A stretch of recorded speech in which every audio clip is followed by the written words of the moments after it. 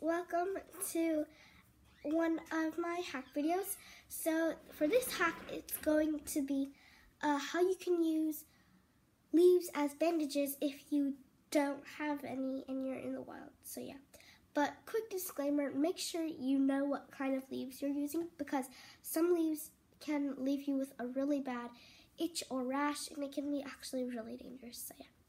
So right now, um, have a leaf thanks, thanks for my mom.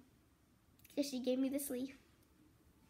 Okay, so what you do is you can use it.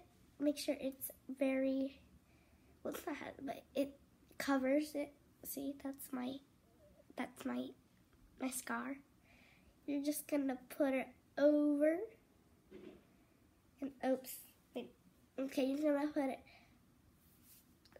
right there. Okay, just get your tape. Put it right there.